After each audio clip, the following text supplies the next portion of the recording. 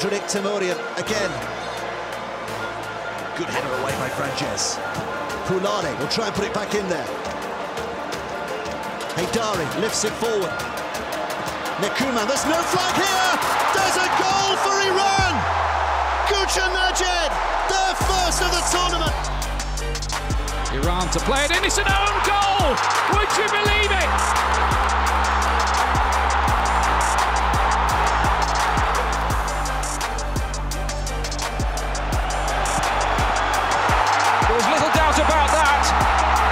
十分钟